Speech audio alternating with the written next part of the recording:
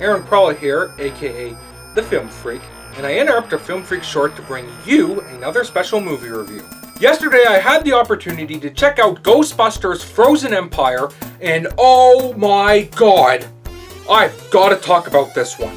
But before I do, I just want to say that I really liked this movie, but at the same time I didn't, if that makes any sense. Now because it just dropped, I don't want to spoil it for anybody, so I'm not going to go into great detail about the story and plot. Instead I want to express my overall thoughts about the movie, and I'll also be talking a little bit about Ghostbusters Afterlife, just to back up my thoughts. Because after all, Frozen Empire is the sequel. Alright, well let's start off on a positive note and talk about the cast. Everyone from Afterlife comes back for this one. Paul Rudd, Finn Wolfhard, McKenna Grace, Carrie Coon, Logan Kim, and Celeste O'Connor.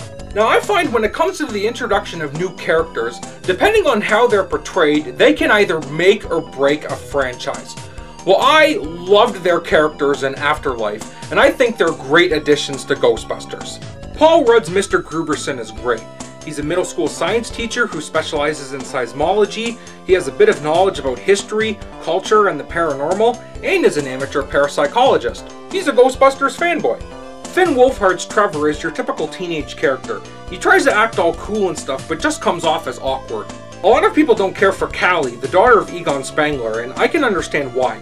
She's a single mom who's struggling financially. She's not exactly the nicest toward Phoebe and Trevor or respecting what her late father was about, but I think Carrie Coon is great in the role.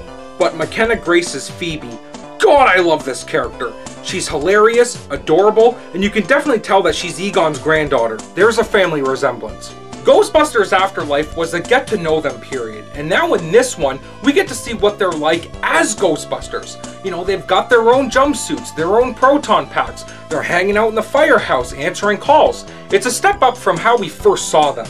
Other great additions include Kumail Nanjiani, James Acaster, my man Patton Oswalt, and a face we haven't seen since the first Ghostbusters movie, William Atherton as Walter Peck. You remember Walter Peck, right? He worked for the Environmental Protection Agency and tried shutting down the Ghostbusters?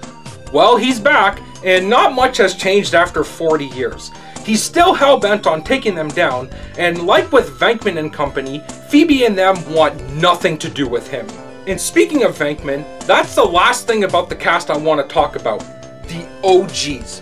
Bill Murray, Dan Aykroyd, Ernie Hudson, and Annie Potts. All returning for this fourth installment, and unlike in the previous film where they seem to just provide fan service, this time they're integral to the story. So we get to see a lot more of them, and honestly, seeing them team up with Grooberson and the Spenglers, it was like that moment in Jurassic World Dominion where Owen and Claire were with Doctors Grant Sattler and Malcolm. Old team joining forces with the new team.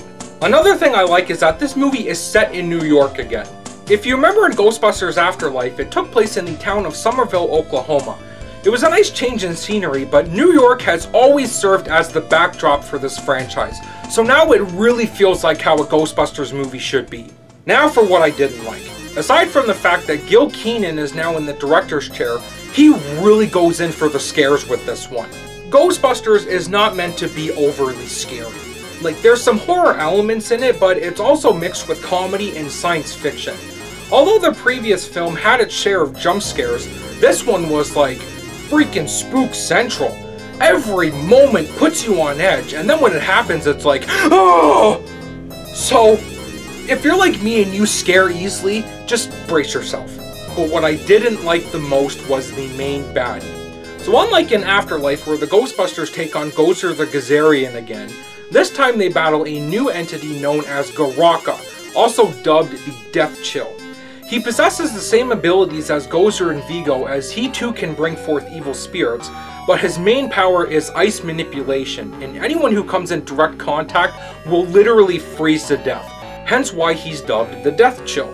Now Garraka is something that the Ghostbusters have never dealt with, but why does he have the power to control ice? Like, really? Were there no other powers the writers could come up with? Especially when you think about other characters who can use snow and ice to their advantage, like Mr. Freeze, Elsa, Frozone, and Sub-Zero. Garraka could have been made out to be the most badass villain, instead he's just portrayed as a scary ice monster. Not very original. Other than that, there's nothing else to really complain about. All of the witty dialogue is still there. The special effects were top notch with that blend of practical and digital. There's not much of a soundtrack, but it's got a great score by Dario Marianelli. It not only continues to reference previous films, but also the real Ghostbusters. So if you grew up with the animated series, be sure to watch for those Easter eggs.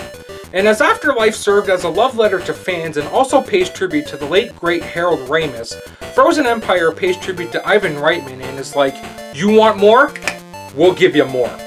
So if I had to rate this movie out of 10, I would give it an 8. And that concludes my review.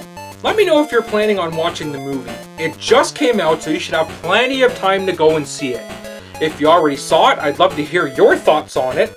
And as always, like, comment, and subscribe if you're digging my content. Every bit of support helps. Well, thank you so much for watching. Enjoy Ghostbusters Frozen Empire, and stay tuned for a Film Freak short as it'll be back next week.